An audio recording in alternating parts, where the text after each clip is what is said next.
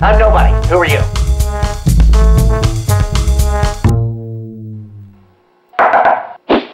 Come in.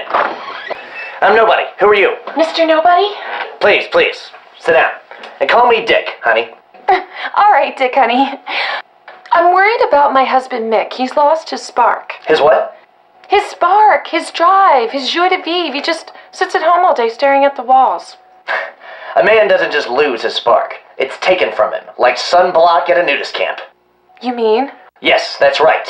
Somebody made off with Mick's Moxie. I'll need to speak to everyone who had access to it. Everyone? Everyone. You're the gardener. Cha-ching? Ching-cha? Right. Tell me something, Cha-ching. When was the last time you saw Mick's Moxie? Creo, 어떻게 주는 I'm talking about his chutzpah. 좋아요? You know, his uh, je ne sais quoi. Qui vous employons? Does he know anything? All I got out of him was Tueo, Correo, Orge Junusipsio, Kiuso Buayo!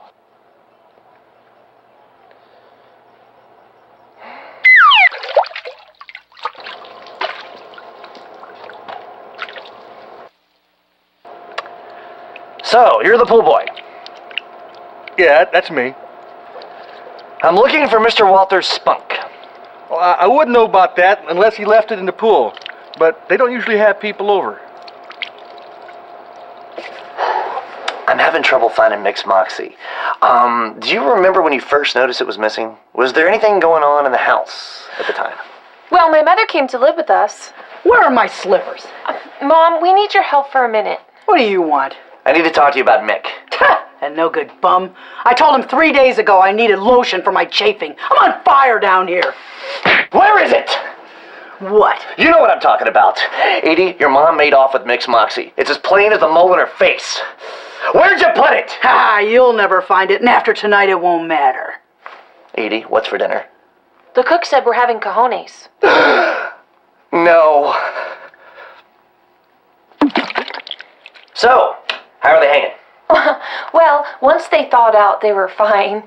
And we just want to thank you for finding my husband's, you know. That's my job, Edie.